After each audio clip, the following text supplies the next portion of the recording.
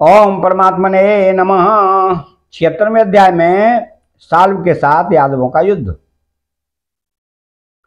तो श्री सुखदेव जी कहते हैं कि परीक्षक, अब मनुष्यों की सी लीला करने वाले भगवान श्री कृष्ण का एक और भी अद्भुत चरित्र सुनो। इसमें यह बताया जाएगा कि सौभ नामक विमान का अधिपति साल्व किस प्रकार भगवान के हाथ से मारा गया। साल्व शिशुपाल का सखा था। और रुक्मिणी के विवाह के अवसर पर बारात में शिशुपाल की ओर से आया हुआ था।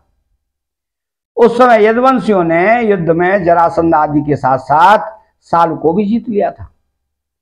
उस दिन सब राजाओं के सामने साल ने यह प्रतिज्ञा की थी कि मैं पृथ्वी से यदवंशियों को मिटाकर छोड़ूँगा। सब लोग मेरा बल पौरुष देखना परीक्षक मूल साल ने इस प्रकार प्रतिज्ञा करके देवादिदेव भगवान पशुपति की आराधना प्रारंभ की। वह उन दिनों, दिन में केवल एक बार मुट्ठी भर राख फांक लिया करता था। यो तो पार्वती पति भगवान शंकर आस्तोष हैं ओढ़र दानी हैं, फिर भी वे सालुक का घोर संकल्प जानकर एक वर्ष के बाद प्रसन्न हुए। उन्होंने अपने शरणागत सालु से वर मांगने के लिए कहा।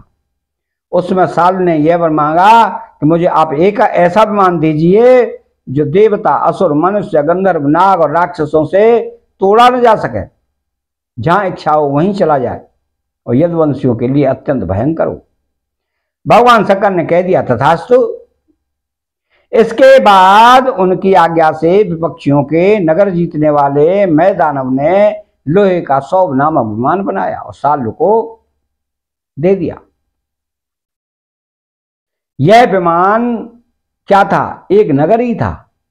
वह इतना अंधकार में था कि उसे देखना या पकड़ना अत्यंत कठिन था।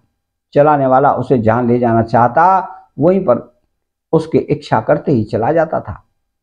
साल ने वो विमान प्राप्त करके द्वारका पर चढ़ाई कर दी, क्योंकि वह ब्रसनी बंसी यादवों द्वारा किए हुए बैर को सदा स्मरण रखता था।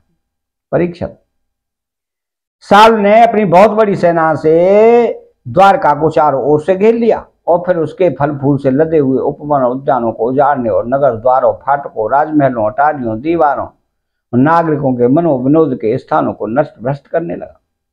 उस श्रेष्ठ विमान ने शस्त्रों की झड़ी लग गई। बड़ी बड़ी चट्टाने, वृक्ष, वज्र, सर्प और ओले बरसने लगे। बड़े ज़ोर का भवंडर उठ खड़ा हुआ। चार ओर धूरी धूल छा गई। परीक्षक, प्राचीन काल में जैसे त्रिपुरासुर ने सारी पृथ्वी को पीड़ित कर रखा था वैसे ही सालु के विमान को, द्वारकापुरी को अत्यंत पीड़ित कर दिया।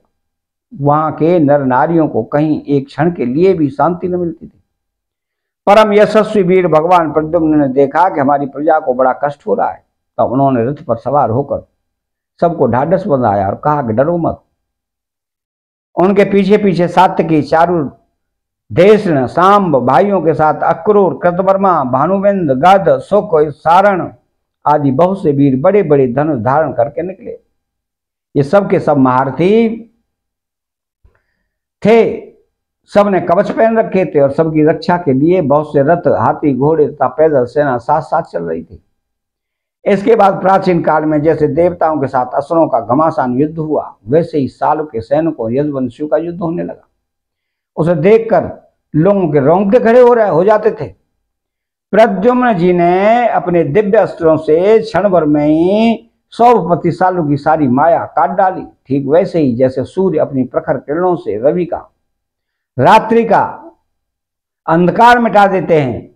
प्रद्युम्न जी के बाणों में सोने के पंख एवं लोहे के फल लगे हुए थे।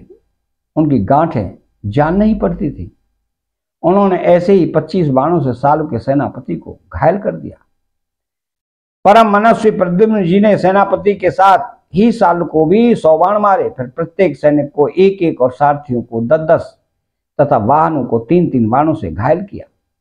महामना प्रद्युम्न जी के इस प्रकार और महान कर्म को देखकर अपने एवं पराय सभी सैनिक उनकी प्रशंसा करने लगे। परीक्षक मैदानव का बनाया हुआ सालों का विमान अत्यंत मायामय था। वह इतना विचित्र था कि कभी अनेक रूपों में दिखता। तो कभी एक रूप में, कभी दिखता तो कभी नहीं भी दिखता। यदवंशियों को इस बात का पता ही नहीं चलता कि वह इस समय कहाँ है। वह कभी पृथ्वी पर आ जाता तो कभी आकाश में उड़ने लगता, कभी पहाड़ की चोटी पर चढ़ जाता तो कभी जल में तैरने लगता। वह अलात चक्र के समान मानो कोई दुमोही लुकारियों की बनेठी भांज रहा हो। घूमता रहता था। एक क्षण के लिए भी कहीं ठहरता न था।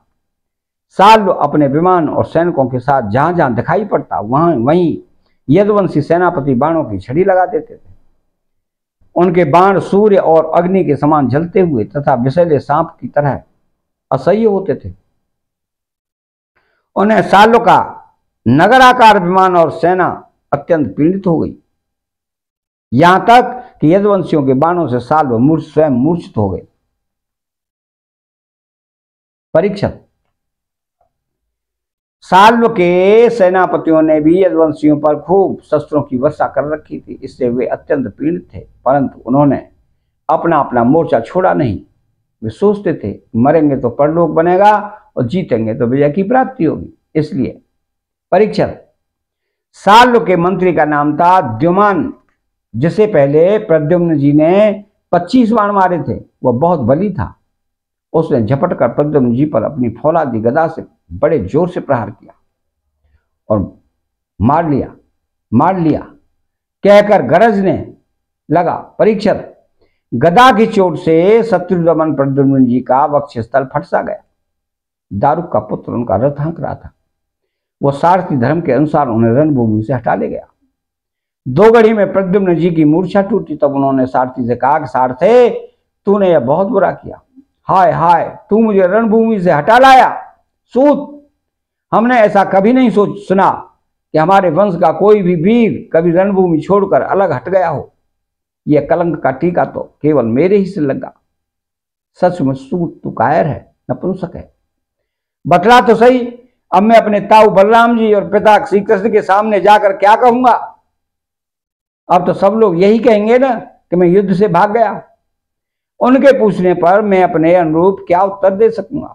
मेरी भाभियाँ हंसती मुझसे साफ़ साफ़ पूछेंगी कि कहो, वीर, तुम नपुंसक कैसे हो गए? दूसरों ने युद्ध में तुम्हें नीचा कैसे दिखा दिया? सूत, अवश्य ही तुमने मुझे रणभूमि से भागकर अक्षम में अपराध किया। सारथी ने कहा, आयुष्मान, मैंने जो कुछ किया है, सारथी का धर्म समझकर ही किया है।